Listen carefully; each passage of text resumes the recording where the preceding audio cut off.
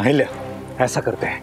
मालवा के जितने भी इलाके, इन पहाड़ी डकैतों के आतंक से प्रभावित है, इन इलाकों में हमारे सेना की अतिरिक्त टुकड़ी भेज देते हैं। छोटी सी तो जनजाति है, मुट्ठी भर लोग।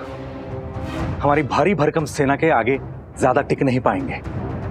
साथ ही इन डकैतों के सर पर इनाम रख देते हैं। जो भी इनका सर कलम करेगा, या फिर इनके बारे में सटीक जानकारी देगा। नहीं तो कुछ भाजी हमें किशन नायक या उसकी टोली को पकड़ना या उनका सर कलम नहीं करना है। ज़रूरी तो ये है कि उनके सर में, यानी उनके दिमाग में क्या चल रहा है, ये जानना। और इसलिए उस किशन नायक को समझना बहुत ज़रूरी है। उस जाति के बारे में और ज़्यादा जानना बहुत ज़रूरी है। माफ़ करिए छोटी रानी, लेकिन इसमें समझना क्या है? वो लोग लूटपाट करने वाले लोग हैं, लुटेरे हैं। ये तो हम सब जानते हैं। छोटी रानी, वो लोग बहुत खतरनाक अपराधी हैं। नहीं, दुष्यंत भाजी वो लोग खतरनाक नहीं हैं। बल्कि वो लोग बहादुर हैं। जाबाज है वो लोग। बेशक उनके पास हमारी सेना जितने हथियार नहीं है, उतनी संख्या में लोग नहीं है उनके पास, लेकिन युद्ध कौशल के धनी है वो लोग। हाँ वो लोग लूट मार ज़रूर करते हैं लेकिन मुझे ऐसे लगता है कि कहीं ना कहीं उनमें अच्छाई भी छुपी है। क्या हुआ तो कुछ भाजी आप यही सोच रहे हैं ना कि किस बात की अच्छाई? हाँ। हमें ये नहीं भूलना चाहिए तो कोची भाजी कि उन लोगों ने हम पर दो बार एहसान किया है। एक बार मेरी जान बख्शकर और दूसरी बार मेरी मुक्ता की जान बख्शकर।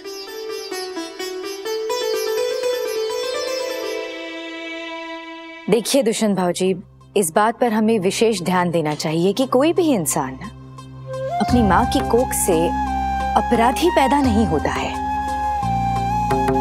उसके मुजरिम बनने की कोई ना कोई वजह ज़रूर होती है। वक्त और हालात ऐसे करवट लेते हैं कि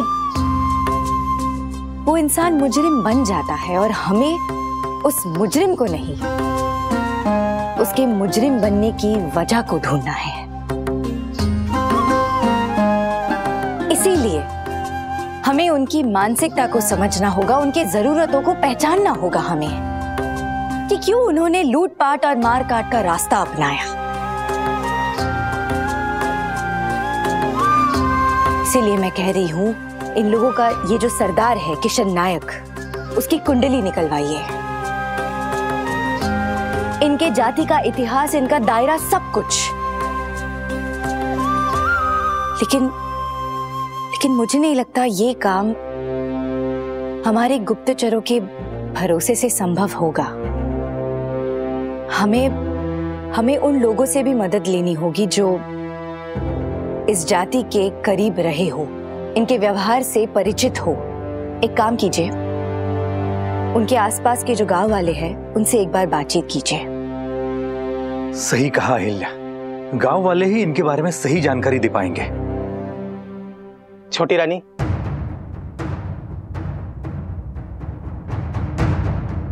जिस गाँव में राजकुमारी मुक्ताबाई वन भोजन करने गई थी, उस गाँव से कुछ लोग आपसे मिलने आए हैं।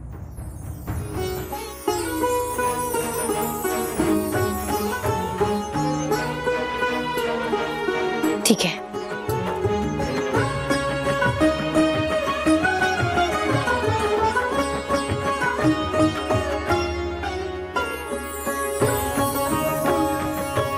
लगता है।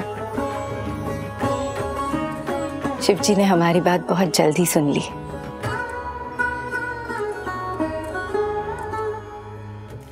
क्या हुआ मुखिया जी? ऐसा क्या मांग लिया कि आप सबने चुप्पी साध ली? यही तो मांगा है कि उन डकैतों के सरदार को पकड़ने के लिए हमारी मदद कीजिए। माफ़ कीजिएगा छोटी रानी। हम सीधे साधे लोग हैं। आपकी तरह बहादुर नहीं है। गरीब है, लेकिन अपने परिवार को बहुत चाहते हैं। कि हम में से कोई भी ऐसा नहीं है, छोटी रानी सरकार, जो अपने प्रियजन की ज़िंदगी को दांव पर लगा दे। और छोटी रानी, आपने हमारे लिए, हमारे गाँव के लिए जो कुछ भी किया, उसके लिए बहुत बहुत धन्यवाद। तोहफे के तौर पर हम आपके लिए ये मसौदा लेकर आए हैं।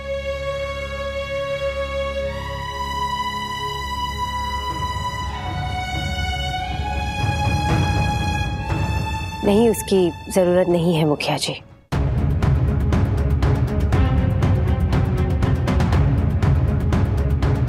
लेकिन छोटी रानी, आप हमसे इससे ज़्यादा की उम्मीद ना करें। डाकू दल की जानकारी देने का मतलब है अपनी और अपने परिवार की जिंदगियों को मौत की दावत देना। और ये हम नहीं कर सकते। माफ़ कर दीजिएगा। अब आज्ञा दीजिए।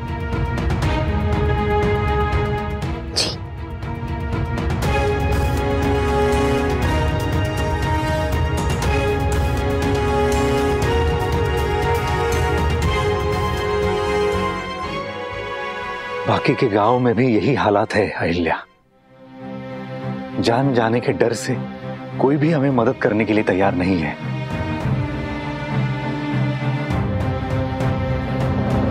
एक बात बताइए तो कुछ भाजी।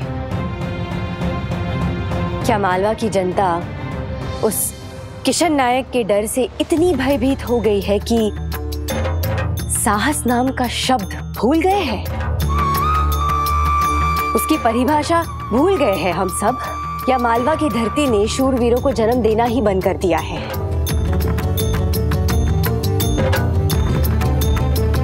नहीं तो कोची भाजी ऐसा नहीं हो सकता। खोजिए बालवा के हर गाँव में खोजिए तो कोची भाजी कोई तो ऐसा बहादुर, निडर जान पे खेलने वाला जान से खेलने वाला हमें ज़रूर मिलेगा। मुनादी करवाइए।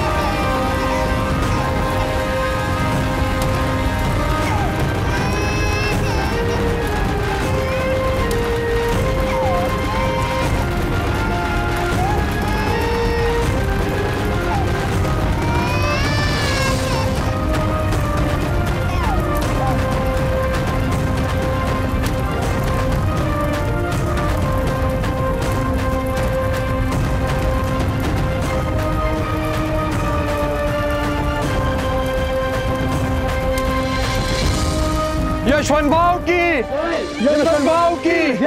यशवंत भाव की। आग बुझाओ। यशवंत भाव की। उतारो तुम सब आग बुझाओ। यशवंत भाऊ यशवंत भाऊ चलो चलो चलो चलो चलो यशवंत भाऊ भाऊ हाँ, क्या हुआ?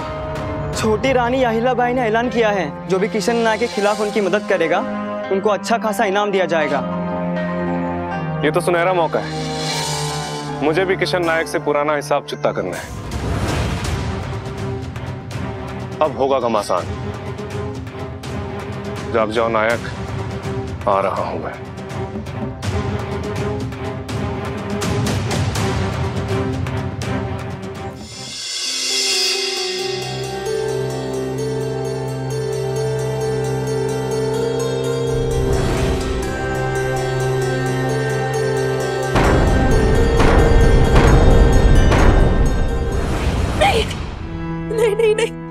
नहीं, ऐसा नहीं ऐसा बचा लीजिए। नहीं नहीं, ऐसा। नहीं किससे बचाइए यहाँ कोई भी तो नहीं है।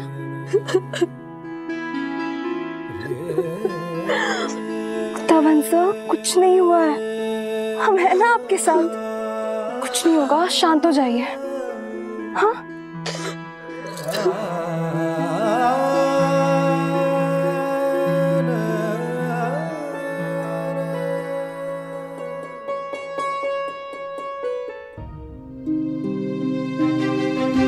अहिल्या, तुम्हारे आदेशानुसार हमने आसपास के सारे गाँव में मुनादी करा दी है। और मुझे यकीन है कि हमें जैसे लोग चाहिए, वैसे अवश्य मिल जाएँगे।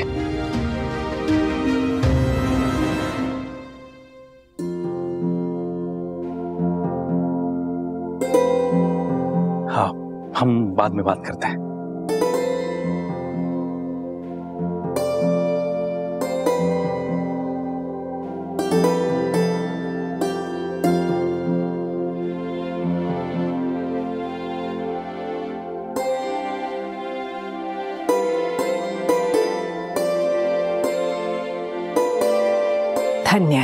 मालवा धन्य है मालवा की प्रजा, जिन्हें ऐसी रानी मिली है।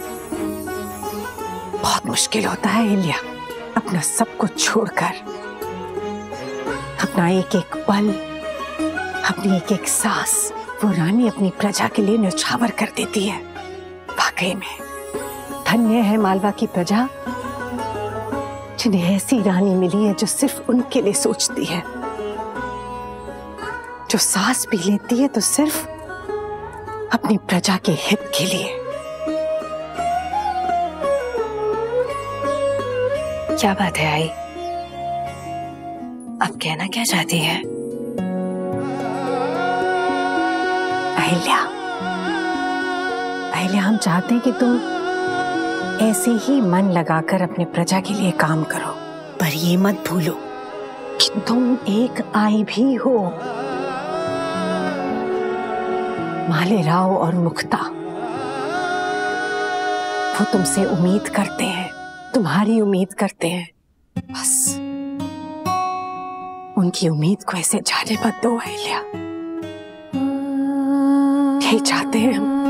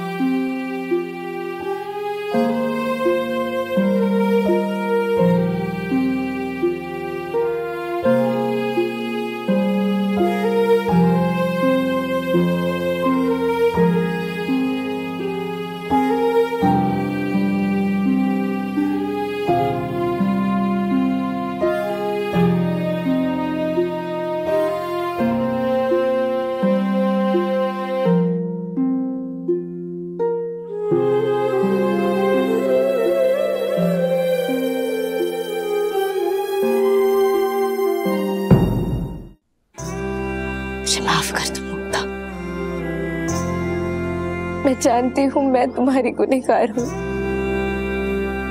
लेकिन मैं जानती हूँ मैंने जो किया वो ठीक नहीं किया, लेकिन उस वक्त मुझे जो ठीक लगा ना, वो मैंने कर दिया बस।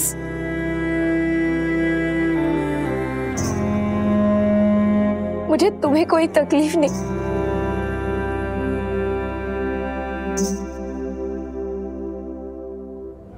मैं समझ सकती हूँ कि तुम मुझसे नाराज़ हो, मुक्ता।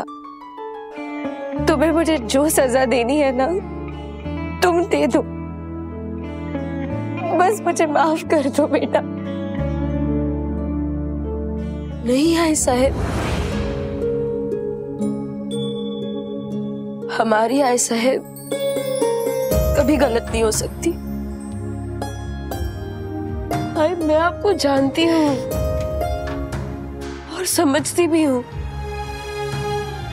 आई मेरे बचपन से हमेशा आपको सत्य और सही के लिए लड़ते हुए देखा है। हार और जीत की परवाह किए बिना आपने हमेशा सत्य का साथ दिया है। ये जानते हुए भी कि ये राह पे कितनी तकलीफें है। आपने कभी भी हार नहीं मानी आप जानबूझकर मेरी जान को आखिर खतरे में क्यों डालेंगी? भाई, आपने जो भी किया है, वो जनता के भले के लिए किया है, और वो सही भी है। उल्टा, मुझे तो आपको धन्यवाद कहना चाहिए कि मैं जनता के, मालवा के और आपके किसी काम आ पाए।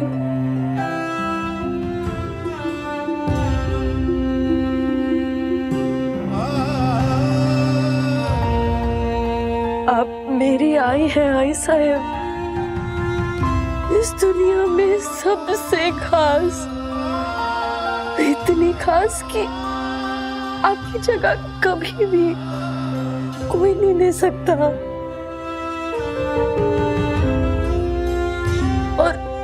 इसीलिए आप मेरा गुरूर है, मेरा कुमान है, और आप मेरा अभिमान है ऐसा है।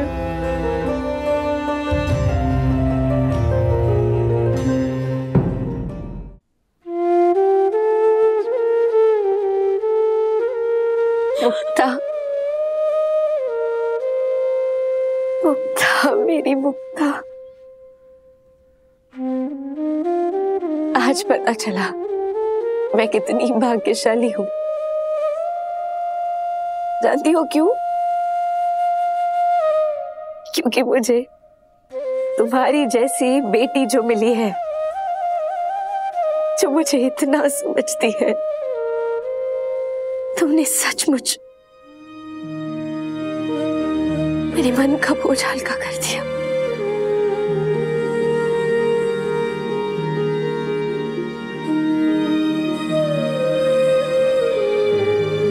और सासूबाई सर कि हम आपकी बेटी नहीं है।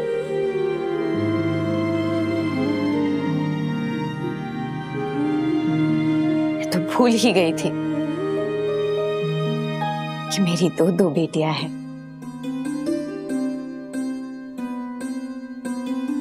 और तुम दोनों पर भी बहुत गर्व है, बहुत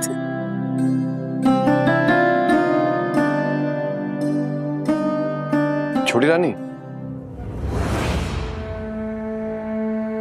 दुष्यंत भाव जी वो मैं थोड़ी देर बाद जरा। नहीं है सर। आप जाइए। लेकिन मुझे यहाँ तुम दोनों के साथ भी वक्त बिताना है।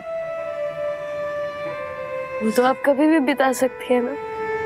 मैं जब चाहूँ आपका साथ मांग सकती हूँ। लेकिन आपको तो वहाँ खुद जाना होगा ना? जहाँ सब आपको आई मानते हैं?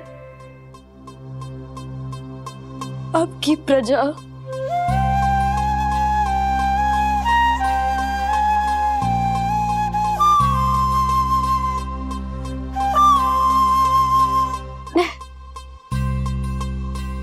आइए।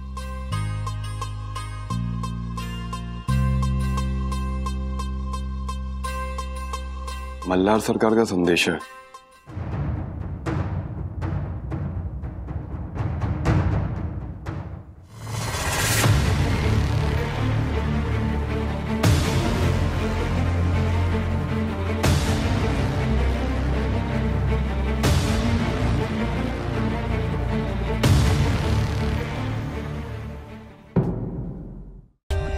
For more updates, subscribe to our channel, click the show links and enjoy watching the videos.